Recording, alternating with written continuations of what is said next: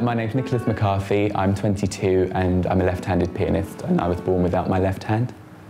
Right hand. I do that one again?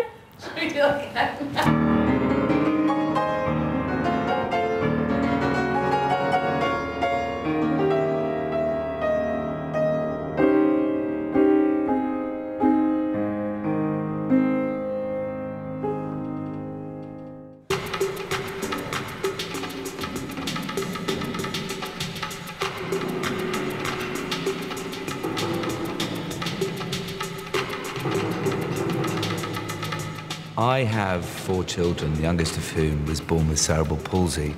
So it's like the scales have fallen from my eyes. I'm now glimpsing a whole different world which was completely invisible to me before. You know, look at the Paralympics. Look at what that's achieved. Look what is now possible for anyone with any kind of disability in sport. Well, music should be and must be in the same place as that. I'm going to establish an integrated orchestra. In other words, that, that, most of the members probably will be disabled in some way, shape, or form, and then there may be other members of the group who are not. Because I think you want that kind of transference of experience and ability and understanding. You know, it works both ways.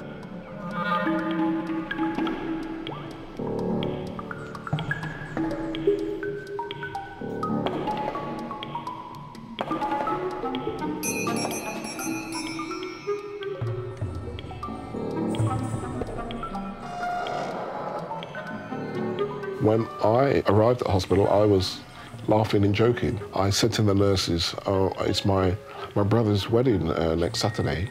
Um, can I can I go to the wedding?" "Oh no, you won't be well enough." I was shown a video uh, in hospital, and it showed me um, a, a chap in a bed who was just whistling to control the windows and different things. And I thought, I wonder why they showed me this. Is this all I'll be able to do? Rolf, Clarence seems to have disappeared. Have you turned him down? Oh, I've turned it off. When when we finished, I turned it off. Oh, okay. Thank you.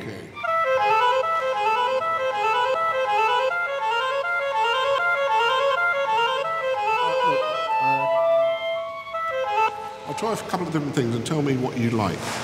I like that, but I just need to find what I. It's not what I want. It, it, it's me trying to fit with what you do. It's a good idea.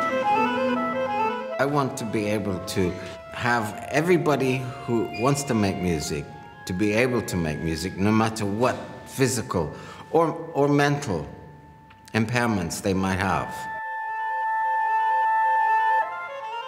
Yeah. Yeah. Yeah, it's absolutely the right territory, isn't it? Yeah. You're just finding modal possibilities out of that. Yeah. That's fine. What, I'm, what I'm doing is chromatic as well. This blow tube here um, activates the sound. If I blow for a long time, uh, you know, I get a longer note. There's also um, an automatic uh, button on here, which means I it, it'll, it'll sound continuous, so I don't have to, you know, uh, call for the oxygen tent after a couple of minutes or something like that.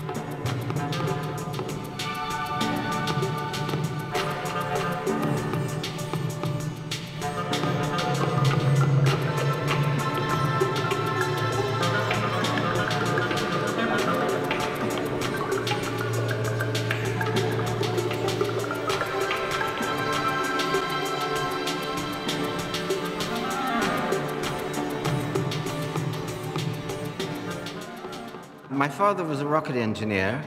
My oldest brother was an electronics engineer. And then I turned out to be the black sheep and became a, a composer, but technologically based.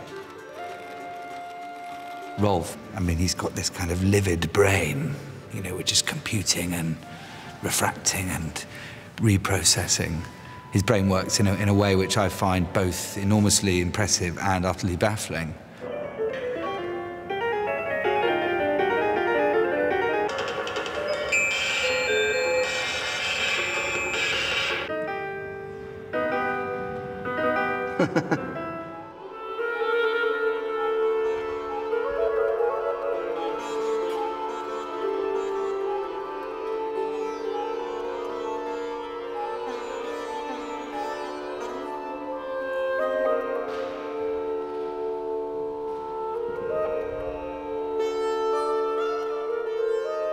as a young child, I can't say I was actually really aware of my disabilities at all. And um, I thank my family for that, really, because they stressed that it was only a part of who I am and it's not the sum total of who I am as a person. There's so much more to a person than their disability.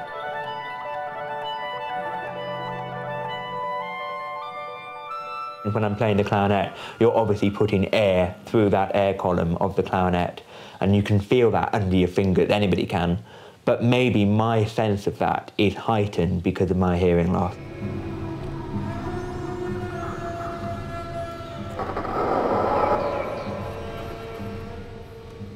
The world of music is immensely, gloriously, and richly wide. My orchestra may well feature some drum and bass just as much as it may feature Baroque licks. You know, it's going to be a very broad church.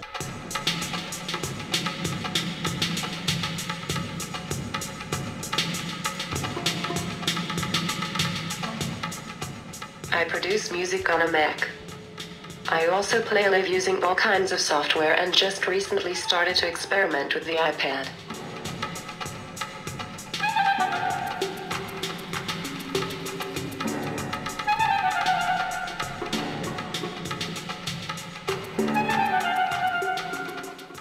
When I'm making music, I feel like a pilot in the cockpit flying an aeroplane. I become alive.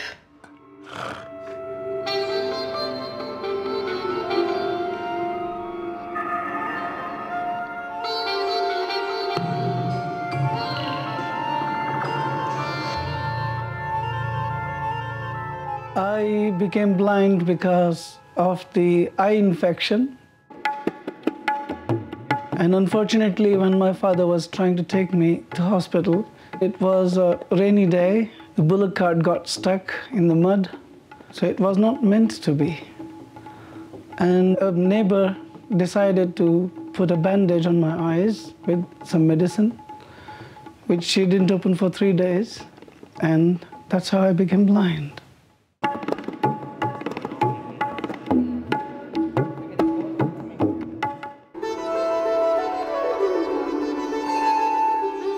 I played with Soul II Soul, Annie Lennox, Boy George, Massive Attack, Paul McCartney as well. But despite of all that, I have not got any promoter, any manager. Nobody wants to help me.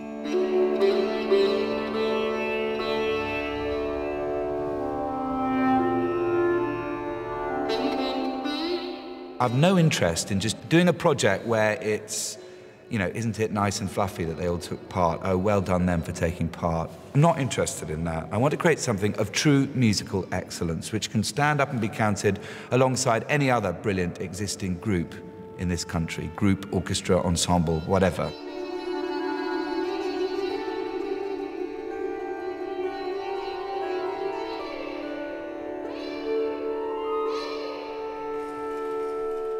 I think it's really important in this project as well that people can see that disability comes in all shapes and sizes.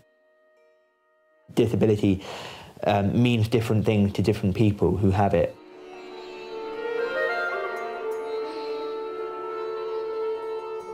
If we are out there doing first rate stuff, then it will change people's perspectives. I would rather be able to play an instrument again than walk. There's so much joy and things I, I could get from playing an instrument and performing. Um, yeah, it's um, removed some of the paralysis.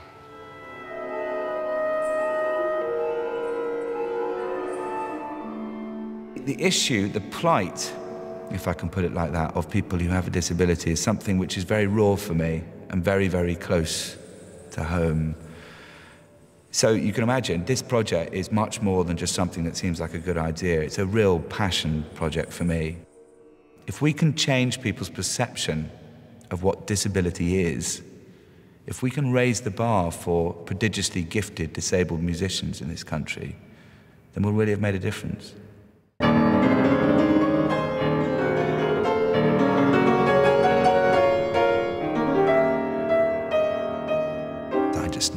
Tip of the iceberg.